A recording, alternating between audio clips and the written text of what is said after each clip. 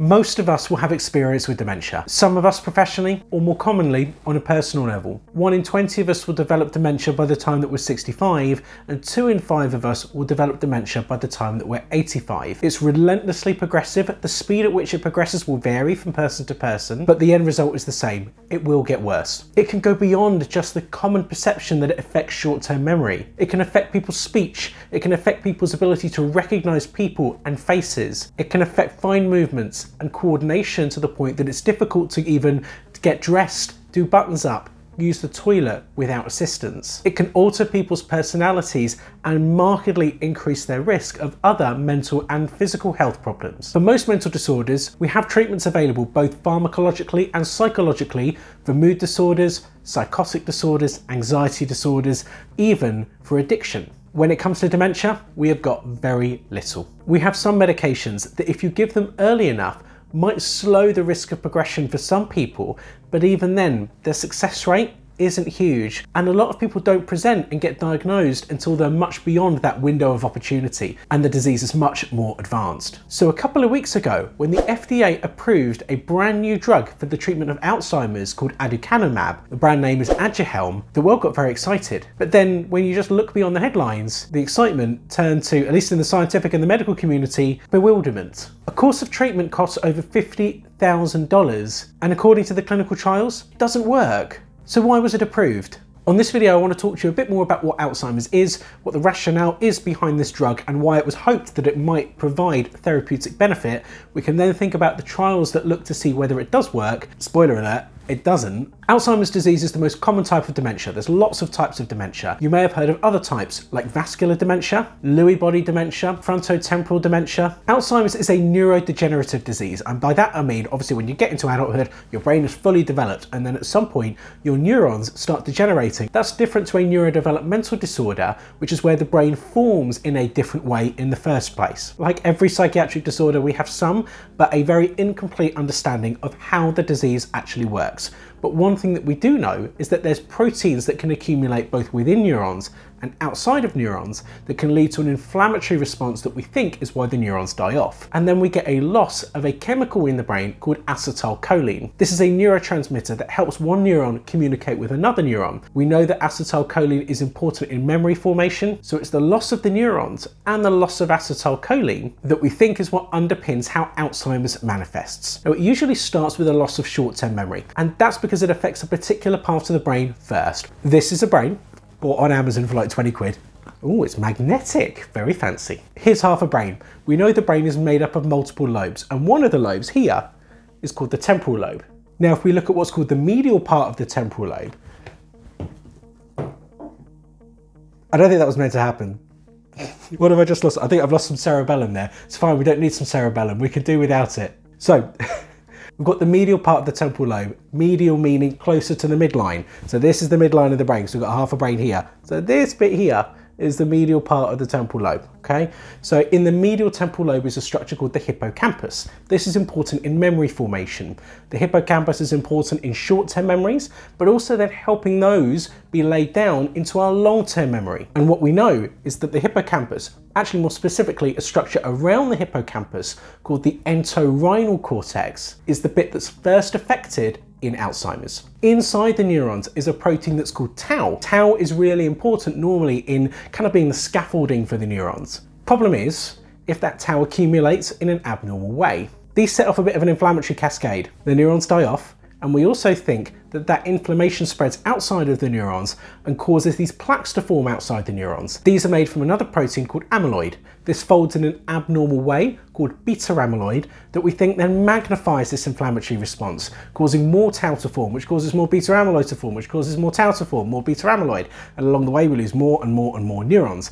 And that neurodegeneration spreads beyond this medial temporal lobe to affect lots of other parts of the brain too. And that's where you get the much more diverse features that we associate with Alzheimer's, such as difficulties recognizing people, recognizing things, fine movements and coordination, speech, attention, personality, loads of different things can then be affected. Most of the medications that we've already got focus on trying to boost the amount of that chemical that we've lost, acetylcholine, by stopping it from being broken down. So whatever's left can then sort of persist in these synapses for longer, being allowed to do more communication. Problem is that's reliant on enough acetylcholine still being produced in the first place. And in advanced Alzheimer's, we've usually lost so many neurons already that there isn't much there to begin with. So it doesn't matter if you're going to stop it being broken down, there's not much there to start with, so you've got nothing to work with. So we need something new. And that's where this new drug aducanumab comes in. This is designed to try and clear this protein that we find in the extracellular space that forms those plaques, this beta amyloid. Thinking that if we get rid of that, we try and stop this inflammatory cascade and we try and stop the loss of neurons. This drug is given once a month intravenously for 14 doses and then for those people that respond they may be eligible for more treatment beyond that. Now if we look at what Biogen actually say, they say the accumulation of amyloid beta plaques in the brain is a defining pathology of Alzheimer's disease. In clinical trials, Aduhelm reduced amyloid beta plaques by 59 to 71% at 18 months of treatment. Okay, so it reduces and gets rid of the beta amyloid. Does getting rid of the beta amyloid really matter to patients? Or actually, is it more about improving memory, improving function, and day-to-day -day quality of life? Is beta amyloid really the cause of all of these problems? Or is it more just a marker of a disease state. Reducing beta amyloid as an endpoint for studies that have looked at whether this drug is effective makes no sense. We should be measuring the stuff that actually matters, measures of cognitive impairment and quality of life. Fortunately, in the phase three trials that actually looked at whether this drug was effective, that's exactly what they did. Yay, go science. We had the eMERGE and the ENGAGE studies. These are two randomized phase three trials. Effectiveness and safety, that's what it's all about, right? The eMERGE study showed potentially a little bit of benefit. There was a statistically significant improvement in markers of cognition in those that had been given this drug aducanumab versus placebo. Though that being said, statistical significance does not equal clinical significance, so it doesn't actually mean it makes a meaningful difference to the human being. And it only worked in those people that were over the age of 70 and had at least one copy of a particular gene that we know in older age increases our risk of Alzheimer's called ApoE4. The ENGAGE study showed no benefit. No benefit.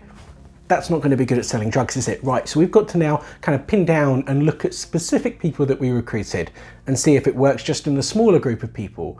I.e., let's cherry pick some evidence and manipulate the numbers, and that's what they did. They decided to then do a subgroup analysis of only the people that had received all 14 doses. That was only about 24% of their original number of participants, and that showed a slight benefit in that there was a reduced rate of cognitive decline in those that had aducanumab compared to placebo. So that was similar to the other study. So they went, oh, maybe it works. That's not how science works. You can't cherry pick evidence like that. Now, fortunately, the Drugs Advisory Committee saw through that that and went, nah, nah, nah, nah, nah, nah, don't you dare do that. And they pretty much unanimously said there's no evidence that it works, and given the huge costs of this treatment that actually so far seems ineffective, it should not be approved. Yet the FDA did.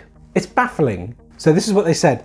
Treatment with Aduhelm was clearly shown in all trials to substantially reduce amyloid plaques. Well, yes, and that this reduction is reasonably likely to result in clinical benefit. Yet the two studies showed that it didn't. So it was approved, but with the requirement to undertake a much bigger what's called phase 4 study, and this needs to be done by 2029. So we've got another eight years where we're potentially, or at least in America anyway, they're potentially giving this expensive, ineffective drug that did have some side effects for some people of increasing neuroinflammation in the brain. My best guess, and I don't know the answer to this, is that one thing that we perpetually have a problem with in neuroscience is that animal studies show, oh wow, there's this potential new drug, this might actually have a benefit, and then we trial it in humans and then it leads to no benefit. That's been the story of our last few decades in neuroscience research. Translatability of findings from animal studies to human studies is just non-existent almost. And because of that, whenever pharma have tried to invest and they've gone, right, we've got this next good new treatment, look, we've got these animal studies that work, it then gets trialed in humans and it fails, we're back to square one. It's a huge investment to come up with a new drug. So then pharma have gone, well, there's no profit in this, so what's the point? I suspect this is kind of a big, relatively expensive ploy to try and get pharma to keep investing into new potential treatments for neuropsychiatric and neurodegenerative disease and trying to convince them that it's not a complete dead end in terms of potential profit. Now, we haven't got this drug in the UK yet, and I really hope that NICE do not approve this. And quite frankly, that money could be much better used for other parts of Alzheimer's treatment, including optimising cardiovascular risk factors and probably more importantly, proper social care.